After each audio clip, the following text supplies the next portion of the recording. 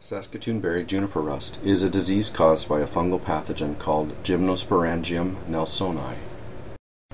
Rusts are interesting pathogens in that they require two separate hosts in order to complete their entire sexual life cycle. Usually the first sign you'll have that rust is present is when you find a whole bunch of orange powder on the leaves or fruit. The seasonal life cycle of Saskatoonberry juniper rust starts on the juniper. Orange jelly-like telial horns show up in May or June, producing spores which are blown to Saskatoon berries, infecting leaves and berries.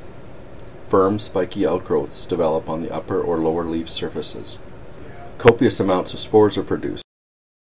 Outgrowths render fruit inedible, not poisonous, just woody and tasteless.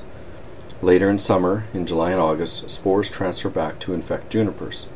Rust is managed on a small scale by removing whatever infected material you can, you can find.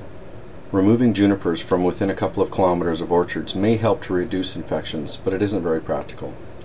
In commercial orchards, rust can be managed through protective fungicide applications.